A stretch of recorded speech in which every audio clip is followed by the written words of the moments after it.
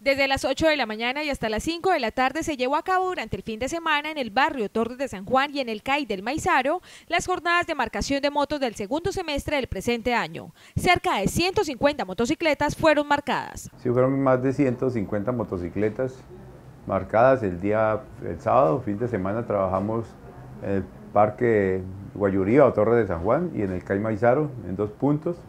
Eh, una gran acogida, pues solo se marcan aproximadamente 150 motocicletas en una jornada. Igualmente, el titular de la dependencia explicó que esta campaña está orientada a prevenir, reducir y contrarrestar el hurto de estos vehículos, así como la comercialización de sus partes. Permite que la motocicleta registrada con la marquilla pierda todo tipo de valor económico, obstaculiza su comercialización en el mercado negro y asimismo facilita la judicialización de las bandas delictivas. Son 25 partes donde se, se marcan Igualmente llegamos a marcar cuatro, cuatro vehículos, en más de 20 partes de esos vehículos, que también hemos querido iniciar la campaña con la marcación de, de, de, vehículos, no solo motocicletas, sino también los carros. El gobierno de la ciudad invita a todos los propietarios de estos vehículos a acercarse al lugar y recibir la marcación de su motocicleta de manera gratuita y segura.